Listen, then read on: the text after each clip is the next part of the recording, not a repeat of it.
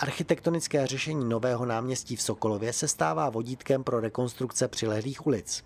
Tak, aby v budoucnu nejen povrchy, ale i dopravní řešení byly logické a vizuálně jednotné.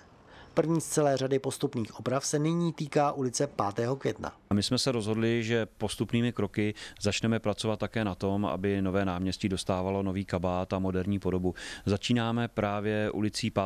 května, to je ta pěší zóna, která je, dá se říci, velkou propojkou mezi novým a starým náměstím.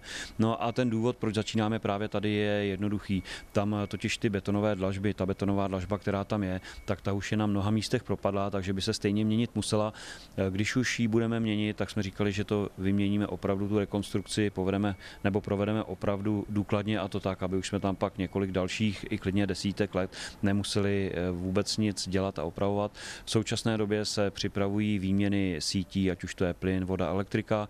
My na to navážeme výměnou povrchů. Jak už jsem avizoval, chceme něco trvanlivějšího, to znamená, že už nepůjdeme tou cestou betonové dlažby, ale půjdeme cestou žulové dlažby, která byť je eh, dražší, to je samozřejmé, ale o to déle také vydrží. Po dokončení akce za necelých 5 milionů korun budou postupně následovat opravy dalších uliček okolo Nového náměstí. Já jsem přesvědčený o tom, že se blíží doba, kdy nový kabát dostane i nové náměstí. Tam je pak potřeba počítat už s větší finanční zátěží.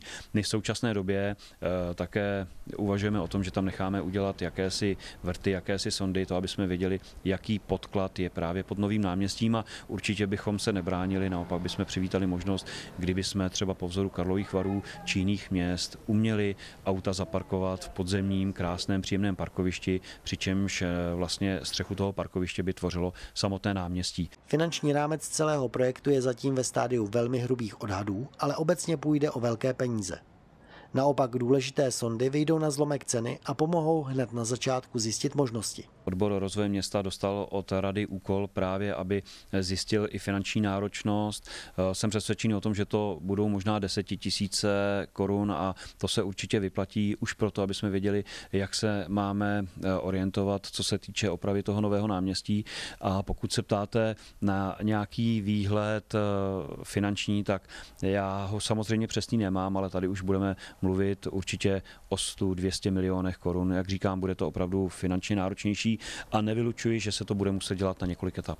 Rozsáhlé nové náměstí v centru města ožívá především v době konání trhů nebo kulturních akcí, jinak je prázdnotou. Částečně je zde povolené parkování, které je v pracovních dnech velmi vítané.